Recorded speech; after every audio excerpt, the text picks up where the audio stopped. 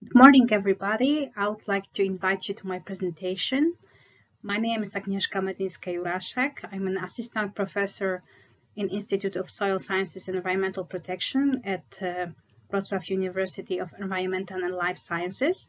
And I would like to present you uh, a short uh, presentation about soil organic matter and the role of biochar in increasing the soil productivity. I would like to start from the very short interview about the soil organic matter and its role in the um, soil uh, processes. Uh, as we all know, the soil organic matter is the most important part of the soil, uh, important uh, in uh, increasing and developing the soil fertility and uh, increasing the soil um, productivity. Um, um, the soil organic matter consists of many different uh, elements.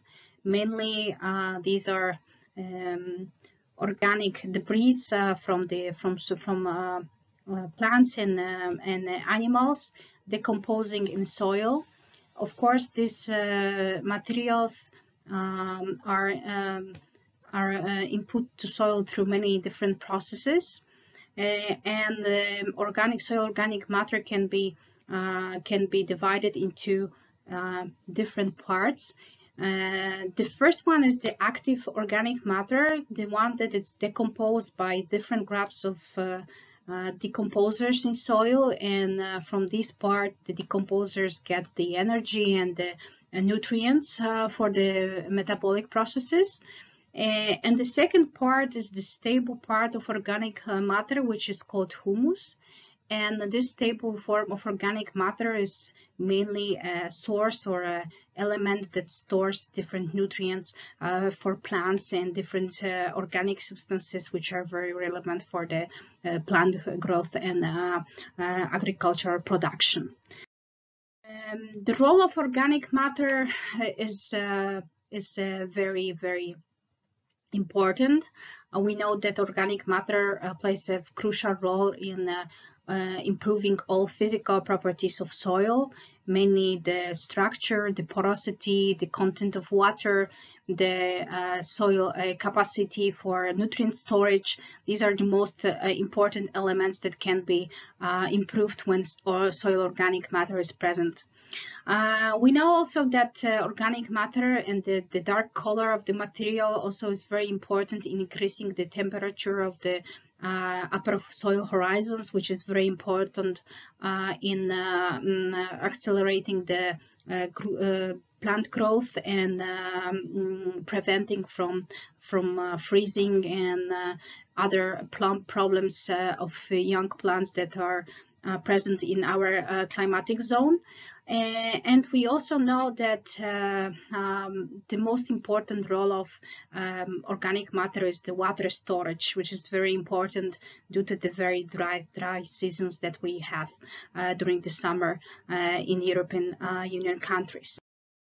Um, the most important chemical uh, hmm, properties that can be improved by the soil organic matter is, of course, the soil absorption capacity, so much less uh, of uh, nutrients is lost uh, when the organic matter is present. Uh, we have these buffering systems, which are very important, preventing um, very dynamic changes uh, in a soil solution. which can be which can be harmful for plants. Uh, we also know that uh, organic matter is important factor that stores the, important, important, the most important element is stores uh, nutrients and is also a source of the nutrients because uh, during the decomposition, the most of the mineral substances and um, essential nutrients uh, for plants are released uh, from the organic matter and can be easily uptaken by plants. and the other, the other very important role is detoxification of uh, soil uh, when the organic matter is present the most of the heavy metals uh, pesticides uh, some organic pollutants can be uh, immobilized in the organic with the organic matter and uh, they are not available for plants which is very important talking about safety of the food production the most important role of organic matter is uh, dedicated to biological activity of soil and we know that um, uh, uh, organic matter is a source of energy, source of water, source of nutrients for many microorganisms and uh, the microorganisms soil wouldn't be able to make it without organic matter. We also know that uh, mm, the uh, nitrogen cycling is closely related to carbon cycling. So if the carbon is present in soil, the nutrients will be um, put in the cycles uh, by the microorganism and uh, can be easily transferred to the forms which are available for plants, which is very important. You also know that uh, organic matter is important for a habitat as a habitat. So uh, when the mm, we have uh, enough of organic matter in soil, we will have a lot of uh, soil soil microbe activity, which is important for many soil processes. Uh, so um, the most important uh, the, the most important soil um, soil functions are related to soil biology and um, we have to keep, keep in mind that soil organic matter is a source of uh, habitat, a source of water, a source of nutrients and air for all the microorganisms which drive the processes which are important in, in uh, plant nutrition. And uh, the one that most the words focus on is the problem of uh, climate mitigation, uh, we know a lot about the, um, the problem that a lot of uh, fertilizers um, uh, components are lost during the um, um gas emission, especially the nitro oxides. And uh, in soils which are rich in organic matter, this problem is uh, mitigated. So the uh, organic matter can play a very important role in gas mitigation, preventing from the climate change problem. Um, what we have to be aware is the difference between the organic uh, fertilization and the mineral fertilization. Mi mineral fertilization only uh, supplies uh, um, plants with nutrients. The organic matter improves and it supplies nutrients, water, and energy to all the soil uh, microbial uh, life. So it's very important to put this organic matter in different forms so we can uh, so we can um, uh, drive and uh, accelerate this microbial activity in soil and the other things will just go very very slowly but uh, the cycling of the nutrients will be uh, will be um, sustainable. Uh, we know that different organic materials can be dedicated in this process. In this talk, I would like to uh, focus on uh, biochar. Biochar is a material which is kind of new. Uh, we know a lot about it and this knowledge is released in different scientific papers since 10 years. Uh, so we still have a lot of work to do on biochar to see if it's really working or not, or all those uh, scientific papers um, uh, can be can be more universal when we are talking about our climatic zones and, and the soils in uh, in the in Europe. And uh, I would like to start from the very beginning. The biochar is the material that is obtaining during the uh, gasification or pyrolysis or thermal, thermal destruction of the biomass uh, under uh, limited uh, oxygen conditions. Uh, this material is similar to the charcoal. Um, usually uh, there's a big, big um, capacity, absorption capacity in this material. It's a, it's a high porous material uh, which can be um, mainly or should be mainly put in soil as a, as a soil additive. Uh, what is very important is linking together two very important uh, issues how to dispose the uh, organic materials which are produced uh, in organic waste which are produced in our uh, farm farmlands and with the with making something that is very useful for soil so soil conditioner uh, so this is the link and uh, it's uh, related to this zero waste policy, policy that it's implemented by the European Union. Now, what is very important, biochar can be made in a very simple ways. So there are very simple reactors or even kilns that can uh, and then biochar can be produced in. Uh, we can have more sufficient or more precise uh, reactors where we can control temperature and the pressure and everything. But actually, it's not necessary. We see very good uh, effects of biochar produced with this very very simple um, simple um, production systems. What is another advantage of using biochar or producing biochar is that we can use a lot of different feedstock types for this production and we can use a lot of materials which are waste materials in uh, uh, agriculture like um, like straw, uh, like cones, cobs, and all the other things, uh, we can use all these materials and produce biochar and uh, also produce energy for the, for energy for for our production. So it's actually to uh, to benefit uh, um, to benefit um, process. Uh, if we would like to talk what benefits we have when we apply the biochar to soil. We can say the biochar is, uh, has a lot of similarities with native organic matter and the, processes which are improved by biochar application are very similar to these processes which are derived by, from the soil organic matter which, make, which makes this material like a mimic material to soil organic matter. Uh, the material is fully natural uh, so it's another advantage. It contains the, a lot of active uh, active substances, active organic substances like dissolved organic carbon, which can be which can interact with the native organic matter, which can uh, interact with the other constituents in soil, which is very important. And it's actually improving a lot of soil properties, the chemical, physical, biological properties. There's a, there's a lot of studies linking the biochar and the carbon sequestration, linking the biochar and the improvement of the uh, native organic matter in soil. We also uh, do a lot of studies on um, uh, use of biochar in mitigating the gas emissions from the land, uh, from the farmlands, uh, or use the biochar in the soil protection. Uh, if I would like to go very briefly what biochar can do in soil, I would have to do that definitely biochar can improve the physical properties of soil. And these properties are the similar properties which are improved by the organic matter. Uh, which is very important. So we can improve the soil water retention, we can improve soil properties, uh, porosity, uh, like uh, structure, uh, the soil aggregates.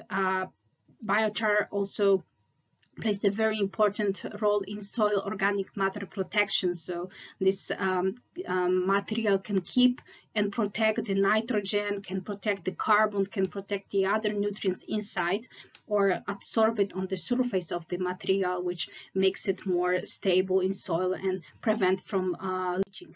Uh, what is very important, uh, biochar is also playing a very important role in increasing the soil sorption capacity. So very similar to organic matter. Uh, and this helps to store um, more nutrients and prevents uh, the leaching of nutrients when, when the uh, mineral fertilization is added. Uh, and it's also regulating the soil pH. Uh, as an alkaline material, works uh, it works a little bit like similar to the liming. And the first uh, the first uh, change that is usually visible after very short after batch applications increase of soil pH, which also regulates the release and the immobilization of different nutrients or toxic elements as well in the soil.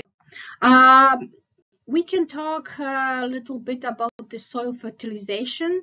Actually, the biochar is not a very good fertilizer. It depends on the process, depends on the temperate feedstocks type. So there are many differences and many dependence if the, this material will be good for the soil fertilization. Uh, it's more like uh, materials that can manage and help to improve the uh, soil um, uh, fertilization effectiveness. So it's increasing the effectiveness of the uptake of different nutrients by plants or storage of these nutrients if it's necessary, but as a material, it's not, um, it's full of different elements, micro and micronutrients, but uh, unfortunately, these elements are mostly not bioavailable in a, in a short time for, for the uh, plants. Uh, what is very important, the biochar has a very similar uh, function in soil as native organic matter in uh, increasing the microbial activity. Uh, so we have a lot of uh, studies showing that uh, that biochar application to soil improved the soil microbiological uh, life, increasing the number of uh, microbes and the activity of the microbes and um, microbes which are very important, for example, for the uh, nitrogen nitrification. Uh, it also has a good, um, it, it itself, it is it, due to the high porosity of the material, it can store a lot of water, a lot of nutrients, and uh, be like a home shelter for the for the microbes in soil, which is very important. Uh, so we actually see the increase of the microbiological activity and biological activity in soils when biochar is added, and it's kind it's a very important uh, issue. Uh, what about the effects on the plant growth? And the yields. Uh, actually, this uh, this part is not well recognized in our climatic zone. We have a lot of studies in tropical climate on different types of soils in different um, um, crop species uh, compared to the to the uh, to the European crop system. So the it's hard to it's hard to compare the data, but uh, there is a lot of uh, trials on biochar going on in Europe and we have the first results showing that actually it's increasing also the um, uh, yields and the, uh, makes um, improvements in soil which are important for the growth of typical crops and cereals uh, in European Union as well like maize or core, uh, maize or um, peas or, or soybeans.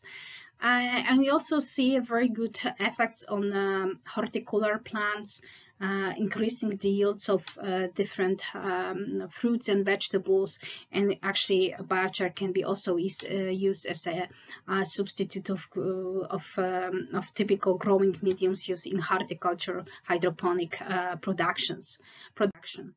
Uh, and if I would like to summarize the effect of biochar, I have to say that biochar or native organic matter or exogenic organic matter, which is added to soil, has a very important, uh, plays a very important role in improving all the soil properties. And if the soil properties will be improved, the uh, cycling of different nutrients and the one that we really forced to be in good um, shape uh, like nitrogen will be more effective.